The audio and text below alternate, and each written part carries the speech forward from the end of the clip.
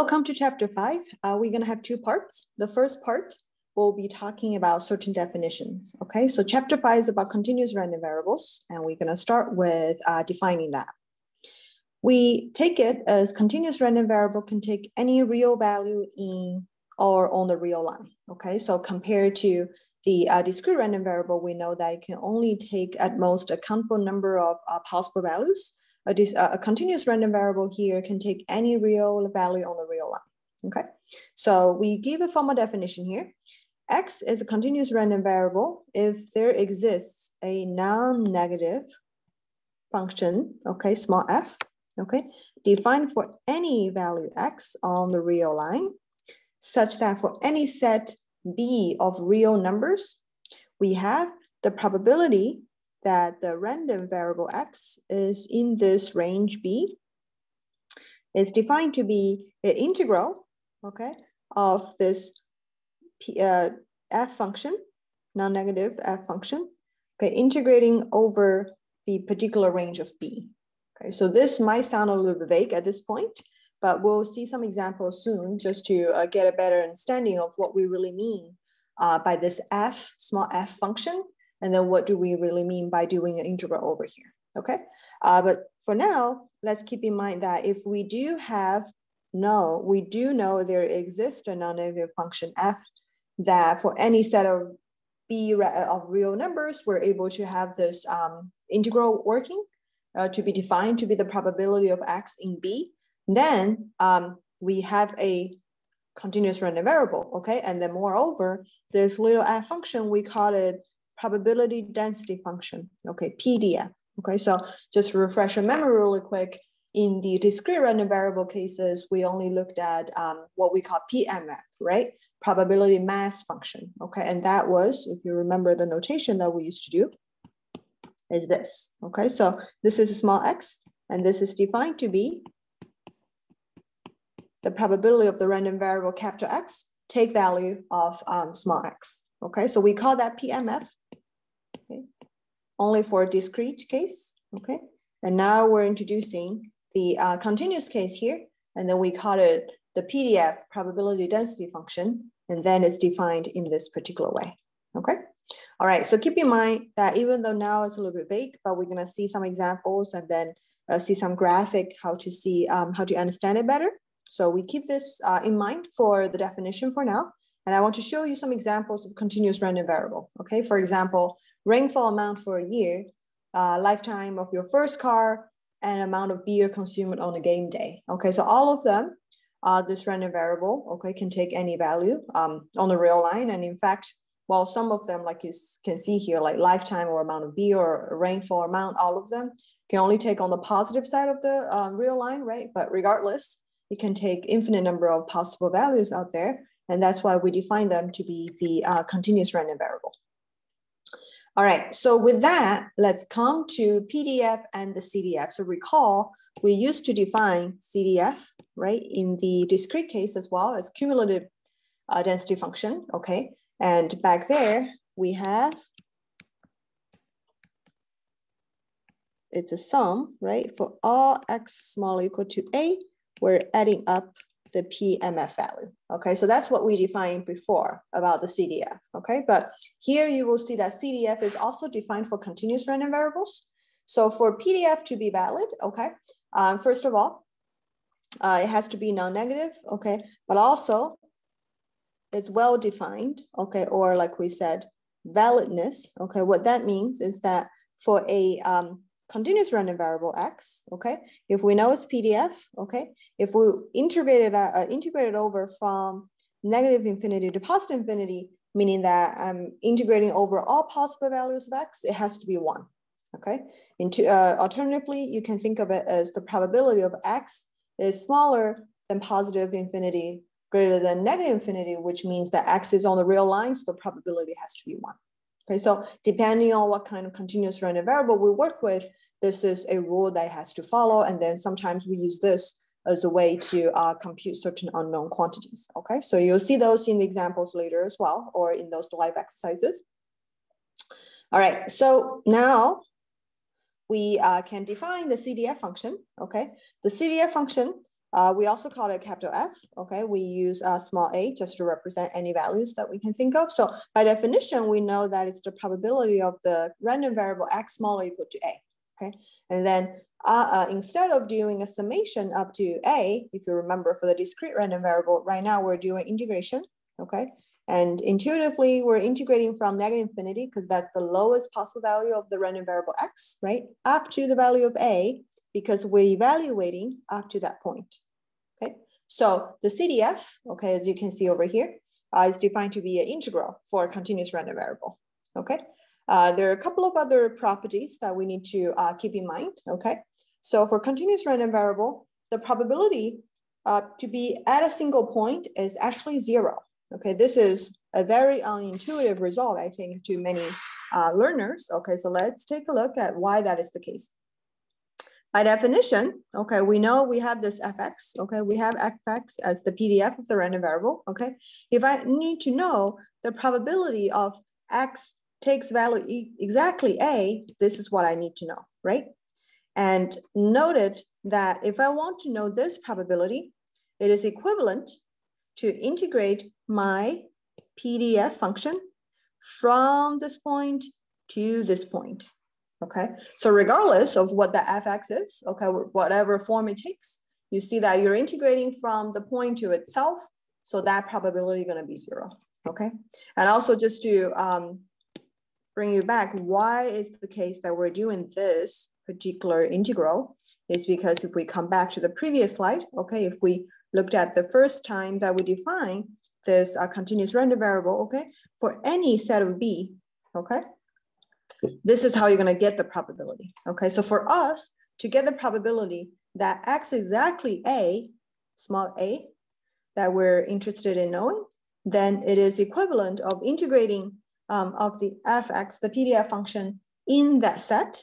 And then for this case, in that set, exactly integrating from A to A. Okay, so that's another reason, okay, that you can think of, um, another way that you can think of why we're doing this um, integrate integration over here, okay?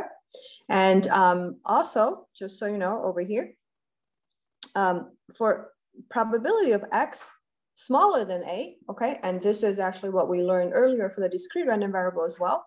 It's equivalent of getting the probability, okay, of x small equal to a minus the probability of x equals to a. But then we know that for any random variable, okay, continuous random variable, the probability of taking uh, at a particular single point is zero. So regardless of whether you're doing smaller or smaller equal to, um, both of these cases gonna lead you to FA, which is the CDF. Okay, so this is, like I said, another way to think about it is that, well, this is zero, always zero, okay? So uh, it is the same as if you're thinking about the definition of the CDF, okay, is uh, uh, integrating up to this point A, so smaller equal to, okay? But because at that point is zero, so this two are always equal to each other. Okay, so this again, may be a little bit unintuitive at the first glance, okay, but hopefully as we see more of examples and then the definitions uh, back and forth multiple times, it starts to make more sense, okay? Uh, lastly, a probability on an interval. Okay, so uh, this is what we have seen before as well. Okay, that uh, for the uh, for the discrete random variable case, we know that well, if I want to know the axis between this a and b, I can simply take the difference of the CDF evaluated at the larger number minus the CDF evaluated at the smaller number. Okay, but then for continuous case, because at including those points, um, it doesn't really matter because at any single point, the probability of zero, so those two equal each other again. Okay, so those are uh, results follow from the discrete random variables. But then of course we have some uh, special cases here uh, just because uh, this particular result that we know the probability at any uh, given point is a zero. So you will have those uh, new results that we're showing down over here. Okay, all right, so now let's take a closer look of how we really understand what the CDF is doing, what the PDF is doing. Okay, so earlier we defined what PDF is, okay, and then we show you that, well, in order to uh, get uh, the definition, you're integrating for a given set of uh, B, you're integrating in that range, right? And then we also talk about how you are able to get the probability from the CDF, uh, from the, the PDF to the CDF. Okay, so now the connection, okay, between uh, PDF and CDF um, is just like what we have seen with the discrete case as well, that if you know PMF, right, probability mass function, you can get to its CDF. Okay, if you know the CDF, you can also get it to the PDF. Okay, so here the connection between the PDF and the CDF is similar. Okay, you can go one way or another. Okay, because they contain pretty much the same amount of information if you think in that way. So if you know one, you can always get to the other. So we have seen the connection uh, in this way just now. Uh, the if you know the PDF, okay, fx, you can get the um, CDF right by doing integral. Okay, but now how can you find the PDF if you know the CDF? Okay, so a really quick way to think about that is that, well, if I need to take an integration, right, I take an integral to get PDF to CDF, then uh, to get the other way from CDF to PDF, we simply take a differentiation. Okay, you take the first order derivative of the random variable. Okay, so if you know the CDF, okay, you take the first order derivative with, with respect to X, and then you're gonna come to the CD, uh, PDF. Okay, so this is a really important result. Okay, maybe in many cases easier to do than in the discrete case, because if you remember in the discrete case, we kind of have to graph it and then figure out uh, certain special points, the starting points, the end points of finding out the um, PDF or a PMF or the CD uh, or the CDF, vice versa. Okay, and lastly, uh, I show this graph um, at the beginning, okay, just now, okay? So one way to think about it is that like this curve, okay, the way that we're thinking about the curve, right, is exactly what we are uh, showing the PDF. Okay, so this is the PDF, okay? It is the probability density function, okay? And then in order to get the probability, right, in the shaded region, okay, if I want to know this probability, which is axis between A and B, what I'm doing, right, like what we talked about earlier, is that you're integrating the PDF, okay, in this particular range, okay? And one way to think about it is, well, how, how am I supposed to understand that if I take the first order derivative, I will get the CDF from the PDF, right? So one way you can think about it is that at this particular point, for example, right? And I think about a super small interval, okay? In order to get the height, which is the PDF function, right? I'm doing a super small interval in this case and then take the first order derivative. So I will be able to um, get, so the super small interval here, if I integrate over here, this particular super thin bar is telling me the probability at this point, okay? For a super small interval. So at the particular point is zero, like what we talked about. But if you think about a super small interval, you can still integrate it, okay? But then you take the first order derivative that gives you the height. Okay, so that's another way you can understand this graph but then of course the graph uh, is the in the first place trying to show us how you're able to um, get the uh, shaded area, uh, the area of the shaded region from the PDF itself, and then how to understand it. Okay, so to give us a quick example, okay, suppose that x is a continuous random variable, okay, and we give you the PDF. Okay, the PDF is C, okay, so this is something that we have to solve, okay? So fx is C times 8x minus 4x cubed, Okay, if x is between zero and one, and it's gonna be zero otherwise. Okay, the question is asking you the value of c. Okay, so c is the unknown that we're trying to solve. Okay, and um, for this type of question, you will notice that well, uh, the the strategy that we're taking here is that we need to one one rule that we know about the CDF, right, is that if you integrate over uh, the entire uh, real line region, okay, it should integrate to one. Okay, so we're gonna use this rule, okay, to show how you're able to um, solve the C. Okay, so I'm gonna show you the uh, result in one page here um, just now, but just so you know, uh, C is the one that we're trying to solve, right? And we're doing, uh, even though we start off with integrating from negative infinity to positive infinity, but then based on the particular form of the PDF that we're seeing here, we're really integrating just from zero to one, okay? And then of course, C is a constant and you're trying to solve and then you do the integration. So make sure that, well, uh, the integral, okay, of um, 8x, right, is 4x squared, okay? For minus 4x cubed is x to the power 4. Okay, so those are uh, integration uh, differentiation results that you have learned from calculus 2 in the past. So make sure that you uh, brush up your skills on this, right? And then you're evaluating it uh, from one, uh, 0 to 1. Okay, so in the end, c equals to 1 over 3.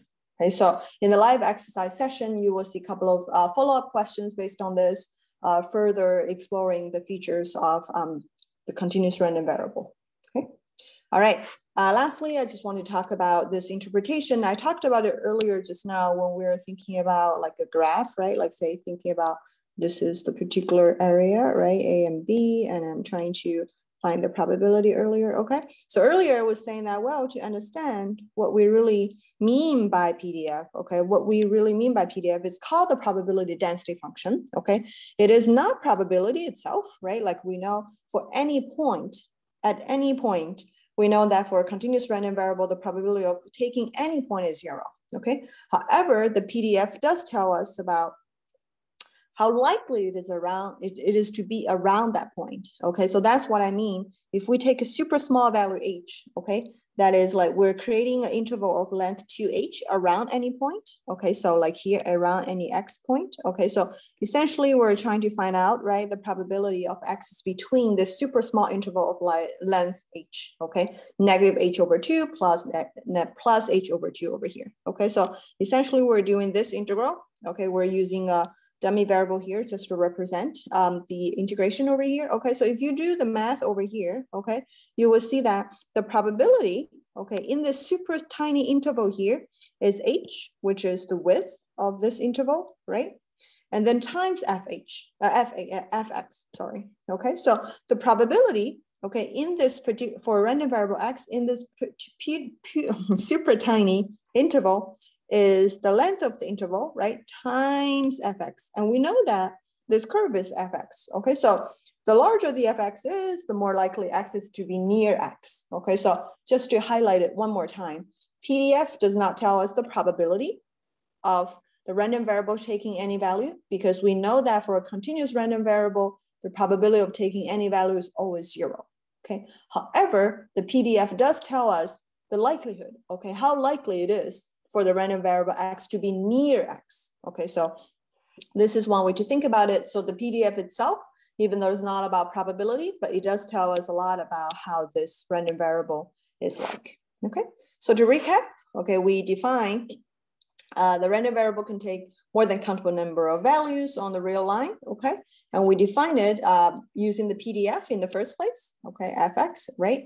Integrating over this particular range, okay, is the probability of um, x is in this range, okay? And then we talk about the CDF function, okay?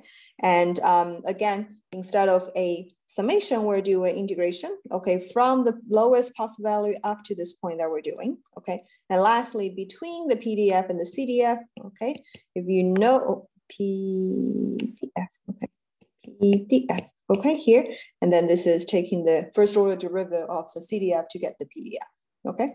And I will just make one more note over here. Notice that sometimes we use dummy, dummy variable, okay? This is just to differentiate from x, okay? So here the small x is the um, uh, value that we're thinking about in the CDF, okay? So if you're trying to do it as a definition or just like to differentiate, because if you write x here and x again here is a little bit confusing, right? So you can always use a different uh, variable just to represent um, this random variable here.